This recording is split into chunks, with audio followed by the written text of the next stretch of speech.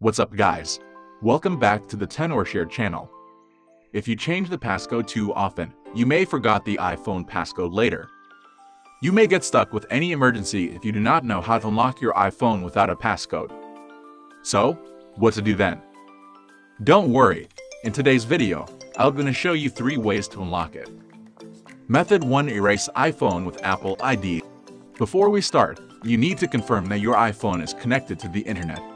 And you need to know your Apple ID and password. Enter your password repeatedly until the Erase iPhone option is presented. Then choose Erase iPhone.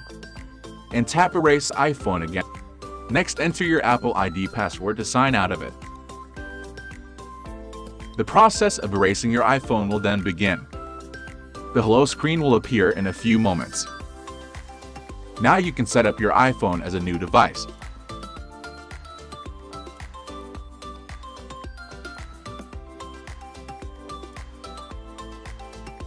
If you can't remember your Apple ID, you can also unlock it with 4uKey.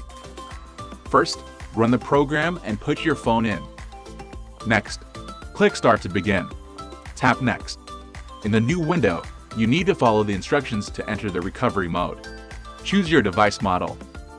For iPhone 13, press and quickly release the volume up and down buttons successively.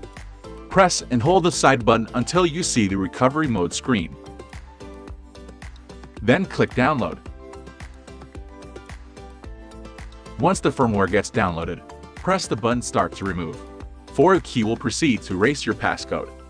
Within a couple of minutes, the iOS lock screen will be removed, and your iPhone will reboot as a newly bought one without showing any lock screen.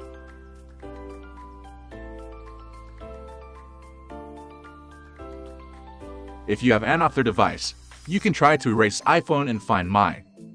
First, make sure Find My iPhone is turned on. Then, open Find My app.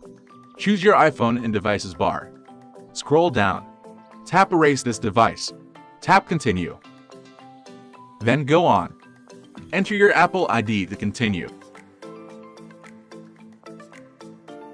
Then, your device will reboot without a passcode.